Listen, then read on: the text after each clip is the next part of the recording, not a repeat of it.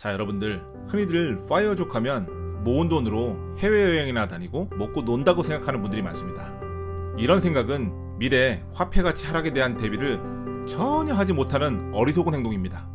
현재 내가 월 200만원으로 생활이 가능하다고 죽을 때까지 월 200만원으로 생활이 가능할 거란 계산은 비참한 노후를 맞이하게 될 겁니다.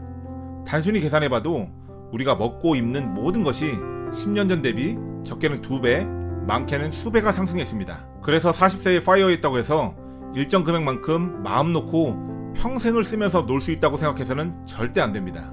앞으로 10년 후, 20년 후 나이가 50세, 60세가 되면 생활비는 2배, 3배가 될 수도 있습니다. 그래서 파이어 한다는 것은 매일 출퇴근하지 않고 내가 할 일의 순서와 시간 등을 정하고 좀 더 부가가치를 높이는 활동을 함으로써 일하는 시간을 줄이고 내가 하고픈 활동을 늘려나가는 것이라 생각합니다. 그리고 파이어족의 삶을 영위하려면 반드시 자본소득에 대한 공부를 해야 됩니다. 파이어하기 위해 모은 돈은 종잣돈이지 조금씩 빼먹기 위한 쌈짓돈이 아닙니다. 이 부분을 굉장히 오해하시는 분들이 많아요.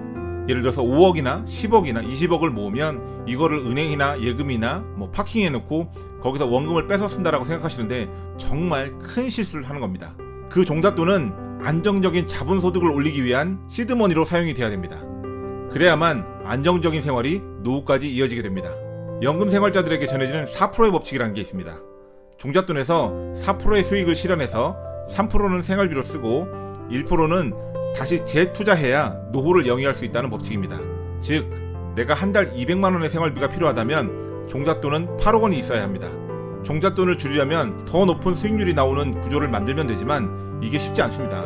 그리고 모두들 고금리가 어렵다고 하지만 은퇴가 목적인 누군가에게는 기회이기도 합니다. 세상에서 가장 안전한 자산인 미국 국채 장기물에 투자하면 4% 넘는 수익률을 보장받을 수 있는 일생일대의 기회이기도 합니다.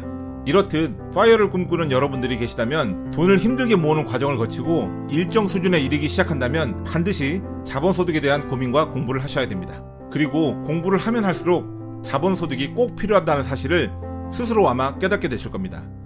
자본소득에 대한 공부나 고민 없이 내 월급만으로 돈을 모은다는 생각으로 10년 후 20년을 생각하면 정말 답이 안 나옵니다. 도저히 서울에 집 사는 건 불가능에 가깝다고 생각이 됩니다. 그러니 욜로라는 말이 나오고 그런 말들이 많은 공감을 얻고 있습니다. 오늘이 중요하다. 미래는 어떻게 될지 모른다. 그러니 오늘을 즐기자. 이런 말들이 시장에 특히나 젊은 친구들 사이에서 팽배해지는 게 아닌가 싶습니다. 하지만 자본주의 시대에서 자본 소득이 가능하고 내가 지금 아낀 10만원, 100만원이 10년 후, 20년 후 수백만원 혹은 수천만원이 될 수 있다는 사실을 깨닫는다면 여러분들은 지금 당장의 소비를 내일로 미룰 수 있을 겁니다. 저는 여러분들이 이렇게 지금의 소비를 미래로 미룰 수 있는 동기를 계속해서 심어주려 합니다.